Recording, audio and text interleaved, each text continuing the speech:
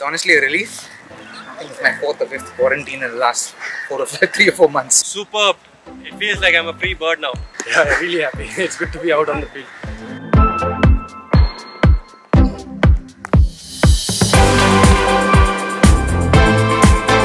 So it's good to be uh, in the yellow dress. Really looking forward uh, for my stint at CSK.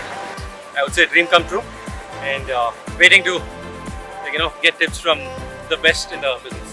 I've already been practicing these colors for, the last month or so, so um, I'm enjoying it, looking forward to it. Uh, hopefully, I can begin really well.